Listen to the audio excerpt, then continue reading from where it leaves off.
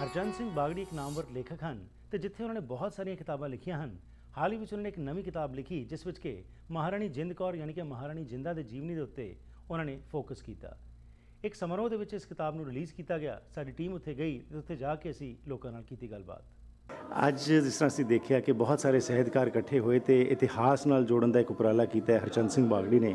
ਤੁਸੀਂ ਕਿਉਂ ਮਹਿਸੂਸ ਕਰਦੇ ਹੋ ਕਿ ਲੋੜ ਹੈਗੀ ਹੈ ਕਿ ਇਤਿਹਾਸ ਨਾਲ ਬੱਚਿਆਂ ਨੂੰ ਅਤੇ ਇਹੋ ਜਿਹੀ ਕਿਤਾਬਾਂ ਰਾਹੀਂ ਜੋੜਿਆ ਜਾਵੇ?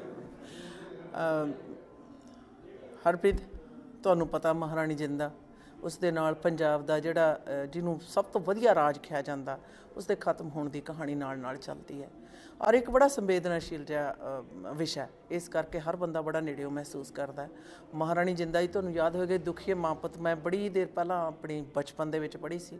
ਔਰ ਕੌਣ ਭੁੱਲ ਸਕਦਾ ਉਸ ਗੱਲ ਨੂੰ? ਤੇ ਇਹਦਾ ਇਤਿਹਾਸ ਦੇ ਨਾਲ ਜੋੜਨ ਦਾ ਇੱਕ ਸਬਬ ਇਹ ਵੀ ਹੈ ਕਿ ਕਿਵੇਂ ਵਕ ਆਪਣੀ ਉਹ ਕਹਿੰਦੇ ਨੇ ਵਕਤੋਂ ਖੁੰਝੀ ਡੂਮਣੀ ਗਾਵੇ ਆਲ ਪਤਾਲ ਕਿ ਥੋੜੇ ਜਿਹੇ ਲਹਿੇ ਜਿਹੜੇ ਫੈਸਲੇ ਨੇ ਗਲਤ ਲਹਿੇ ਜਿਹੜੇ ਫੈਸਲੇ ਨੇ ਉਹ ਰਾਜਾਂ ਨੂੰ ਤਬਾਹ ਕਰ ਦਿੰਦੇ ਨੇ। ਔਰ ਬਹੁਤ ਲੋਕਾਂ ਦਾ ਇਹ ਵਿਚਾਰ ਹੈ ਕਿ ਜਿਹੜਾ ਸਾਡਾ ਸਿੱਖ ਸਮਾਜ ਹੈ ਸਿੱਖ ਭਾਈਚਾਰਾ ਜਿਹੜਾ ਉਸ ਦੇ ਵਿੱਚ ਇਸ ਤਰ੍ਹਾਂ ਦੀਆਂ ਸ਼ਖਸੀਅਤਾਂ ਨੇ ਜਿਹੜੀਆਂ ਨੇ ਉਹ ਹਨ ਉਹਨਾਂ ਦੇ ਲਈ ਸਾਵਧਾਨ ਹੋਣਾ ਤੇ ਉਸ ਤੋਂ ਆਪਣੀ ਜਿਹੜੀ ਅ, ਵਧੀਆਪਣਾ ਹੈ ਉਸ ਨੂੰ ਬਚਾ ਕੇ ਰੱਖਣ ਦੇ ਲਈ ਸੁਚੇਤ ਹੋਣ ਦੇ ਲਈ ਇਸ ਸੁਨੇਹਾ ਇਸ ਦੇ ਵਿੱਚ ਵਾਗੜੀ ਸਾਹਿਬ ਉਹਨਾਂ ਨੇ ਦਿੱਤਾ।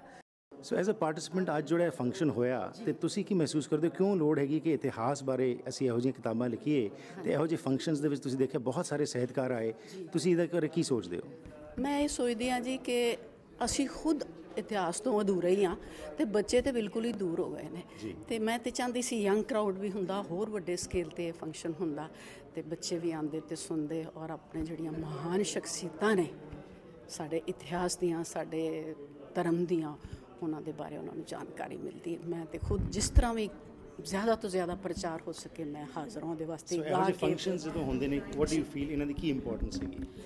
ਇਹਨਾਂ ਦੀ ਇੰਪੋਰਟੈਂਸ ਇਹ ਹੈ ਕਿ ਸਾਡੇ ਵਰਗੇ ਜਿਹੜੇ ਦੂਜੇ ਪਾਸੇ ਚੱਲ ਪਏ ਨੇ ਅੱਜਕੱਲ ਉਹਨਾਂ ਨੂੰ ਜਗਾਉਂਦੇ ਨੇ।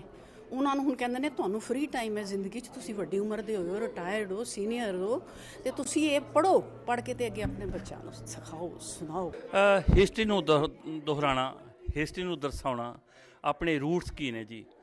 ਜਿਵੇਂ ਹਰਚੰਦ ਸਿੰਘ ਬਾਗੜੀ ਨੇ ਇਸ ਕਿਤਾਬ ਦੇ ਵਿੱਚ ਅਣਖ ਪੰਜਾਬ ਦੀ ਤੇ ਮਹਾਰਾਣੀ ਜਿੰਦੀ, ਜਿੰਦਾ ਦੀ ਗੱਲ ਕੀਤੀ ਹੈਗੀ ਹੈ, ਸ਼ੇਰੇ ਪੰਜਾਬ ਮਹਾਰਾਜਾ ਰਣਜੀਤ ਸਿੰਘ ਦੀ ਗੱਲ ਕੀਤੀ ਹੈ, ਜਿਹੜੀ ਸਾਡੀ ਆਉਣ ਵਾਲੀ ਜਨਰੇਸ਼ਨਾਂ ਹੈਗੀਆਂ, ਉਹਨਾਂ ਨੂੰ ਸਾਡੀ ਹਿਸਟਰੀ ਦੱਸਣੀ ਤੇ ਦਰਸਾਉਣੀ ਤੇ ਸਮਝਾਉਣੀ ਬਹੁਤ ਜ਼ਰੂਰੀ ਗੱਲ ਹੈ ਜੀ।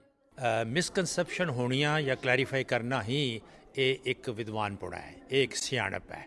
ਕਿਉਂਕਿ ਜਦੋਂ ਤੁਸੀਂ ਕਿਸੇ ਬਹਿਸ ਵਿੱਚ ਨਹੀਂ ਪੈਂਦੇ ਤੇ ਤੁਸੀਂ ਕਿਸੇ ਨਿਤਾਰ ਵਿੱਚ ਨਹੀਂ ਆ ਸਕਦੇ, ਤਾਂ ਇਹ ਇੱਕ ਉਹਨਾਂ ਨੇ ਇੱਕ ਨਵੀਂ ਆਰੰਭ ਕਰ ਦਿੱਤੀ ਹੈ। ਉਹਦੇ ਨਾਲ ਕੀ ਹੋਏਗਾ ਕਿ ਚੀਜ਼ ਹੋਰ ਚੰਗੀ ਹੋ ਕੇ ਅੱਗੇ ਆਏਗੀ, ਉਗੜ ਕੇ ਅੱਗੇ ਆਏਗੀ। ਪਰ ਮੈਂ ਇੱਕ ਚੀਜ਼ ਫਿਰ ਤੁਹਾਡੇ ਸਾਰੇ ਸਰੋਤਿਆਂ ਨੂੰ ਕਹਾਂਗਾ ਕਿ ਬਾਗੜੀ ਸਾਹਿਬ ਨੇ ਆਪਣਾ ਕੰਮ ਕਰ ਦਿੱਤਾ ਹੈ। ਇਤਿਹਾਸਕਾਰ, ਗੀਤਕਾਰ ਆਪਣਾ ਕੰਮ ਕਰਦੇ ਨੇ। ਪਰ ਹੁਣ ਸਾਡਾ ਫਰਜ਼ ਬਣਦਾ ਹੈ ਕਿ ਅਸੀਂ ਬੱਚਿਆਂ ਨੂੰ ਵੀ ਪੰਜਾਬੀ ਬੋਲੀ ਪੜ੍ਹਾ ਕੇ ਇਹ ਸਾਰੇ ਕੁਝ ਦਾ ਨਾਲੇ ਦਈਏ ਤਾਂ ਕਿ ਕੱਲ ਉਹ ਤੁਹਾਡੇ ਤੇ ਮੇਰੇ ਵਾਂਗੂ ਇਹੋ ਜਿਹੀ ਗੱਲ ਕਰਨ ਦੇ ਕਾਬਿਲ ਹੋ ਜਾਣ।